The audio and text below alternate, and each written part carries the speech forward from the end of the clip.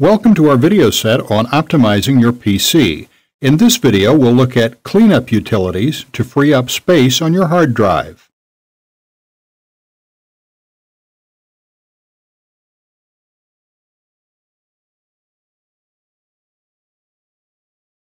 Now, the amount of disk space you have available on your hard drive can affect how quickly your computer works, how quickly Windows runs. This is particularly important for the hard drive actually within, inside your computer. The internal hard drive, as it's called, the hard drive actually inside your computer, as opposed to external hard drives that you actually have to plug into your computer. And running out of disk space is less and less of an issue these days as hard drives are getting larger and larger and also less and less expensive. However, on the other side of that, Broadband is getting faster and faster, and people are downloading more. So it's actually easy to fill up your hard drive without even realizing it if, for example, you're downloading music regularly. So go to My Computer, and here it tells you what hard drives you have. And importantly, it labels these local disks, which means hard drives inside your computer instead of external hard drives. External hard drives would be listed here, devices with removable storage. And I have one here, although this one is in fact a memory stick, G drive. And in my computer, you can change the view through this menu here. You can, for example, go to Icon View, which gives you less information. So I generally spend time in Detail View, and it gives you these three columns. So here you can see immediately which hard drives you have in your computer. Importantly, generally, you will have a C drive, and C drive is the most important drive in your computer. That's where Windows is installed. That's where Windows starts from, and generally, that's where most of your software is installed. So if you run out of space on C drive, you could cause significant problems for yourself. Here you see it tells you total space. 48.8 gigabytes free space, 28 gigabytes. So there's plenty of room.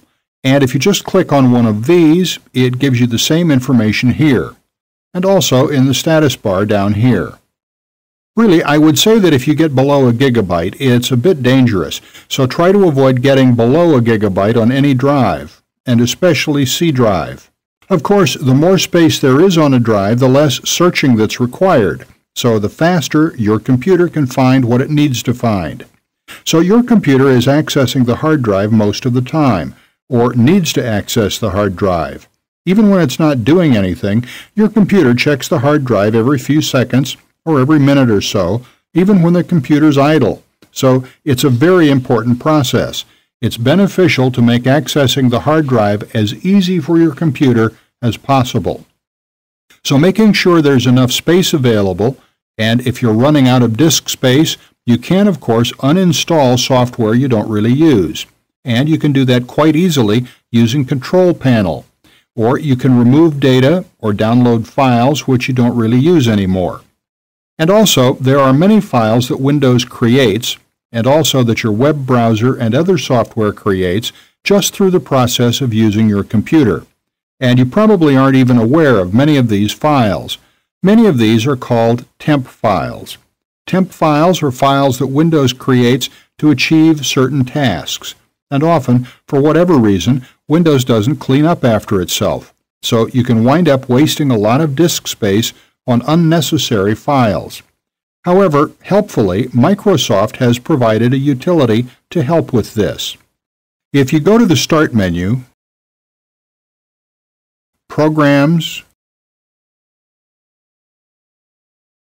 Accessories, and System Tools, and Disk Cleanup. Okay, select the drive you want to clean up. So this may take a few minutes. I'm going to click OK and pause the video and continue the video once it's completed the process of checking what I can actually clean up from my hard drive. Okay, it's gone through the process and it's telling me you can use disk cleanup to free up to 4 gigabytes and it's around 1000 kilobytes per megabyte. It's actually 1024 kilobytes per megabyte, and it's 1024 megabytes per gigabyte, so approximately 4 gigabytes of space I could free up that were literally being wasted. Okay, downloaded program files, 0, but temporary internet files, 84 megabytes, offline web pages. Okay, I don't need those anymore, but only a tiny quantity of data there. Microsoft Error Reporting temporary files. Again, only a small quantity of data, but I don't think I need those. Office setup files. I have Office installed, so do I really need to keep those there? And actually, it says here, if these are removed from your computer, you may be prompted for your original installation media. Okay, I still have the CDs for Office, so let me get rid of that. That's a lot of space. And nothing in the recycle bin. Setup log files, files created by Windows. Not a particularly helpful description, but let's get rid of those. Temporary files. Programs sometimes store temporary information in a temp folder. Before a program closes, it usually deletes this information. Well, I have over 500 megabytes in temporary files, so apparently this information isn't always deleted, so let's check that. And web client publisher temporary files.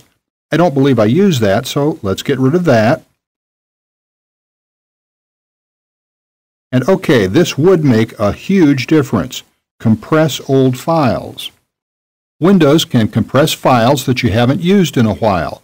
Compressing the files will save disk space while still enabling you to access them. No files will be deleted. Because files compress at different rates, the displayed amount of disk space you will gain is approximate. And you can choose which files you can compress if you click on Options. You can specify how old the files should be before they're compressed.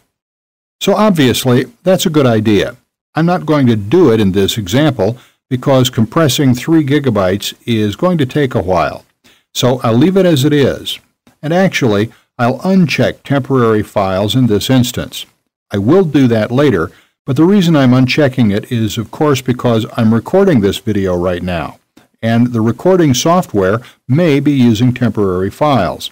So deleting temporary files while I'm recording could cause problems for the recording.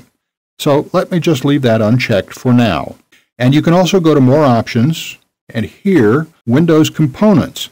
You can free more disk space by removing optional Windows components, clean up, and it takes you to this screen, which actually you can also access through Control Panel and the Add Remove Programs screen. If there's a part of Windows that you don't use often, such as accessories and utilities, Fax services, I don't have it installed. Indexing service, I don't have that installed. Internet Explorer, for some reason it says 0 megabytes there. And MSN Explorer, and so on. But let me just cancel that for now, but you can do that if you wish to free up more space. Installed programs, and it takes you directly to the Add Remove Programs screen, which is available through the control panel, so you can remove them here. Let's just close that. System Restore. You can free more disk space by removing all but the most recent restore point. System Restore information, in case there's a major problem with Windows, it gives Windows a point to return to, hopefully before the problem occurred. You can choose to clean up, and are you sure you want to delete all but the most recent restore points? I'm going to say no now, but that is something you can do. So let's put those aside for now and go back to disk cleanup. And okay, I'm going to save 366 megabytes. And actually, for this example, let's make it a quick example. So let's keep the office setup files for now, but I can get rid of those later. Let's get rid of temporary internet files. Okay, 84 megabytes approximately, and that's the main bulk of it.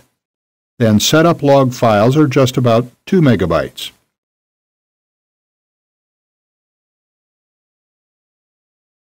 Let's OK that. Are you sure you want to perform these functions? Yes. OK, the disk cleanup utility is cleaning up unnecessary files on your machine. And it may take a few minutes, so I'll pause the video here and resume once it's done. OK, it's done, and when it's done, it just disappears. It doesn't tell you it's done, but it's gone, so we have to assume as much. Now, let's go back into my computer and take a quick look and see if it's made a difference. So now C drive, total size, obviously that hasn't changed.